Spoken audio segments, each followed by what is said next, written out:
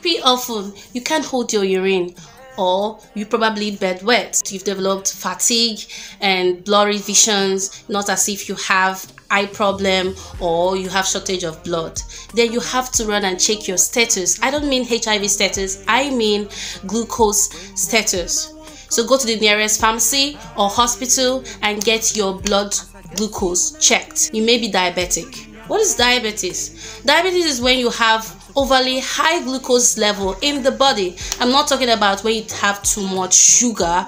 I mean, glucose is the end product of every carbohydrate, including sugar. So when, it is overly high because your body can't produce enough insulin or produces no insulin, then these particular symptoms I've mentioned will happen. So check your status today because it can affect your entire body system and can also be fatal and it also has its own complications. Early management can prevent complications of diabetes. Remember I said it can be hereditary. So watch my next video where I will talk more on the complications of diabetes. Thank you.